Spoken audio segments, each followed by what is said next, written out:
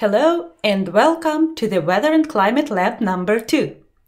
In this lab, you are going to learn about the ozone layer and also about the biggest and the most successful international agreement in history. Do you know its name? I'm talking about the Montreal Protocol. It was adopted in 1987 and since then it was signed by 197 countries. It is the only universal United Nations agreement signed by all the countries of the world.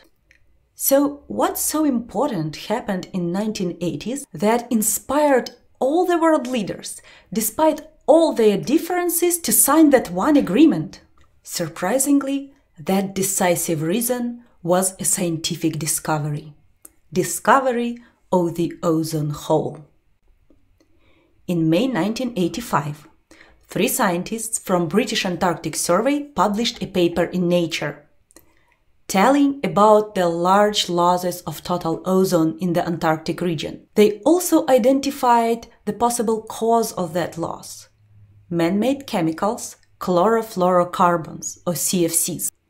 Later, NASA scientists analyzed their satellite dataset and confirmed that the ozone layer was depleting.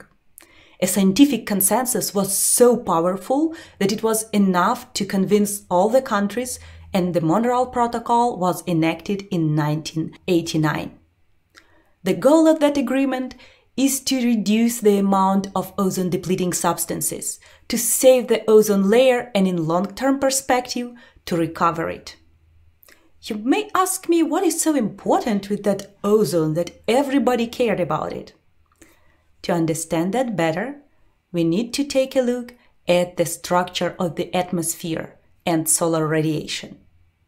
The atmosphere consists of gases, droplets, and particulates, and it is divided into layers based on change in temperature, pressure, and composition as we go up in altitude. In this lab, we focus on stratosphere because that layer has the highest concentration of ozone compared to the other layers. Ozone is a unique form of oxygen that is made up of three oxygen atoms. The ozone layer is so important because ozone has the ability to absorb ultraviolet solar radiation. And that ultraviolet radiation is harmful for all living beings on Earth. Without the ozone layer protection, life on Earth would be impossible. You will learn more about ozone layer in this lab. And now let me walk you through your lab and tell you about some tools you need to use. In the section numbered 3 of your lab, you need to open Google Earth document. To do that, you need to have Google Earth installed on your computer. Search Google Earth find Google Earth website and download Earth Pro on desktop. Once you have your Google Earth installed, it looks like this cool 3D map. Now you can open the file from your lab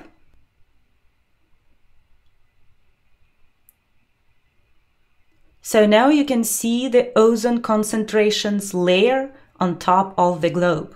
You can estimate the amount of ozone based on the color and you can also change the time scale.